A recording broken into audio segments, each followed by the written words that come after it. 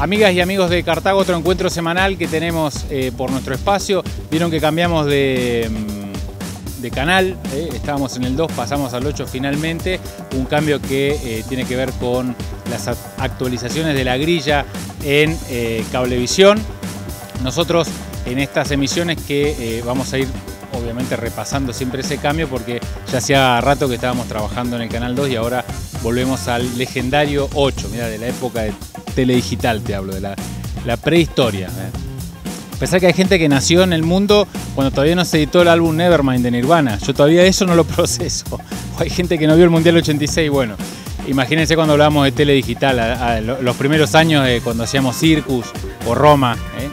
¿eh? Em, quería eh, tomarme unos minutos porque quedó mucho rebote del programa que hicimos sobre Venezuela, una especie de documento que estuvimos trabajando eh, casi in situ porque tenía que ver con las protestas eh, que la derecha terrorista estaba llevando a cabo durante eh, los días previos a Semana Santa y en este momento en el cual nosotros ya habíamos lanzado el, documental arrecian todavía ya los ataques que están vinculados a los operativos paramilitares.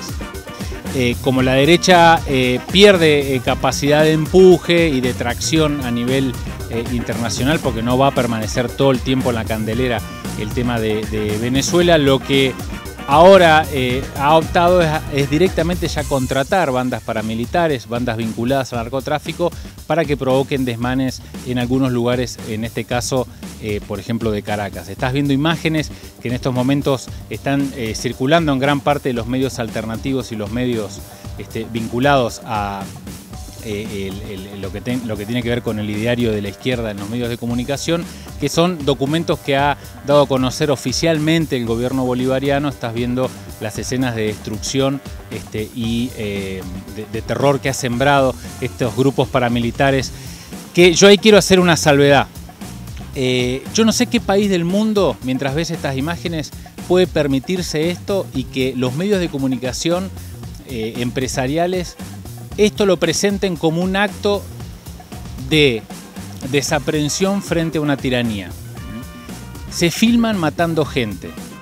Hay un periodista vinculado al Diario Nacional, creo que es el director, que aconsejó que durante las marchas del chavismo, que fueron este 19 de abril, que fueron masivas marchas que, tuvieron eh, eh, un, amplísimo nivel de repercusión en todo Venezuela, eh, se calcula que más de 3, de 3 millones de militantes y de eh, eh, eh, venezolanos que apoyan a la revolución bolivariana salieron a la calle en paz a dar a conocer, obviamente que es un gobierno con un fuerte regrame popular, el de Nicolás Maduro, que también estaba cumpliendo cuatro años. Este periodista, estás viendo el tuit, recomendaba desde los edificios tirar o hielo o agua congelada. ¿no? Mató gente, ya murió gente. Se filman haciendo ese tipo de actividades, porque hay tal nivel de impunidad aupado también por los medios empresariales, que estos supuestos luchadores por la libertad se filman tirando este, bidones de agua congelada desde, no sé, 15, 20 pisos. Ya murió gente, ya han asesinado gente. Aparecieron francotiradores que obviamente disparan a la Policía Nacional Bolivariana. Estás viendo los rostros de quienes ya empezaron a sumar esa lista de muertos que tiene estas protestas de la derecha.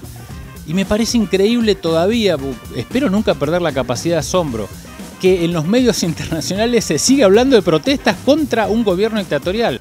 Miren al estúpido de Sergio Massa, porque solamente una persona estúpida con maldad puede tuitear lo que acaba de tuitear Massa.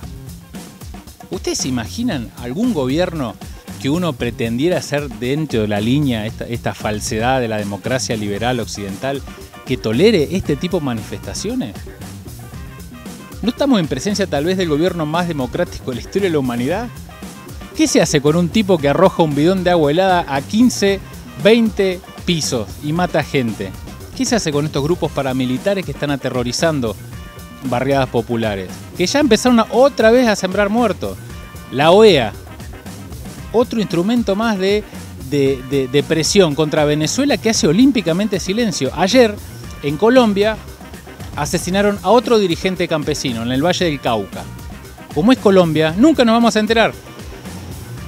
En lo que va el año, ¿cuánto tiene el año, Mati? Cuatro meses. 30 dirigentes sociales fueron asesinados en Colombia. 30. En cuatro meses. ¿Se enteraron? ¿Lo vieron en algún medio? Yo sé que Ragneri, la familia Ragneri, nunca va a publicar eso en sus medios empresariales. Yo sé que la familia Joeder nunca va a publicar eso en sus medios empresariales. Yo me pregunto, ¿no te sentís mínimamente conmocionado a este nivel de ataque y de intoxicación que hay contra un proceso legal y a todas vistas popular como el gobierno bolivariano? ¿No te motiva mínimamente retuitear alguna de las informaciones que valientemente tantos periodistas están dando a conocer del nivel de organización que tienen estas mafias narco-paramilitares? Uno puede indignarse con el gobierno de México. El gobierno de México que pida a Venezuela que revea su situación de derechos humanos. El gobierno de México, líder en el asesinato de periodistas. El gobierno de Colombia, líder en el asesinato de dirigentes sociales, campesinos, de los cuales nunca vamos a saber ni el nombre del rostro. El gobierno argentino, capaz de mantener presa a Milagro Salas reclamando por la libertad de un terrorista confeso como Leopoldo López. Uno lo puede entender porque la derecha es así, la derecha es hipócrita, necesita sostenerse siempre sobre esas bases de mentira.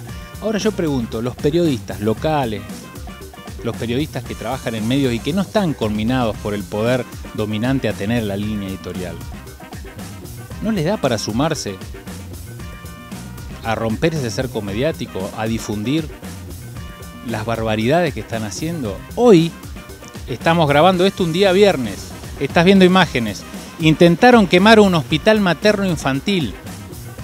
Las milicias bolivarianas tuvieron que actuar y em, evacuar no sé cuántos, cuántas madres con los niños en horas de madrugada. Fue denunciado, están las pruebas, están los videos, están los médicos hablando. Caen, prenden fuego y se escapan hasta que llegan, obviamente, un hospital materno infantil. ¿No hay un, mínimo de entidad o de empatía en dar a conocer esa información, aunque sea a través de tu Facebook? ¿Tanto miedo tenés que te señalen que sos chavista? Nos vamos a un rápido corte y seguimos con más Cartago.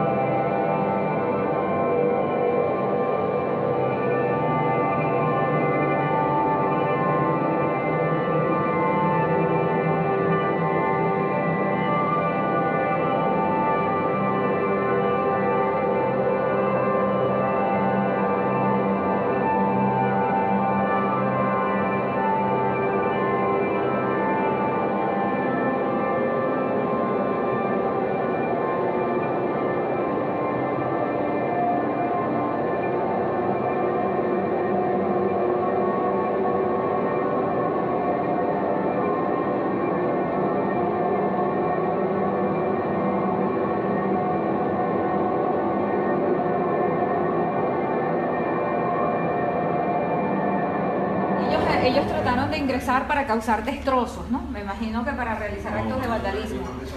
Eh, y después, como no pudieron, entonces se pusieron, este, pusimos allí unas una sillas y todo esto para que no pasaran. Entonces eh, estaban gritando, este, lanzaron piedras, objetos contundentes y después incendiaron basura enfrente.